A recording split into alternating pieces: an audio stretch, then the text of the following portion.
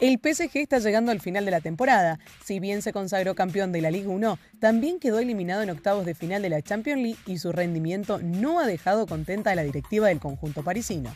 Al parecer, la destitución del director deportivo, Leonardo, fue solo el principio, pues ya se despidió Ángel Di María y hay varios en la mira.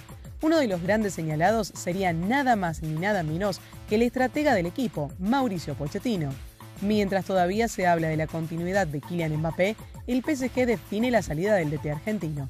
Pochettino tendría sus horas contadas en la escuadra de la capital de Francia y pronto dejaría de trabajar con el equipo de Lionel Messi, según informó Le Parisien. Además, el propio presidente del PSG, Nasser Al-Khelaifi, anunció el lunes que habría cambios la semana entrante. A la vista está que la reconquista de la Liga 1 no fue suficiente para evitar que Pochettino tenga que abandonar el club.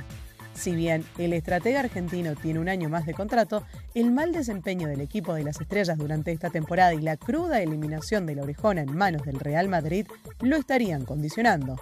En fin, ¿quién dirigiría a Messi y Mbappé si Pochettino se va?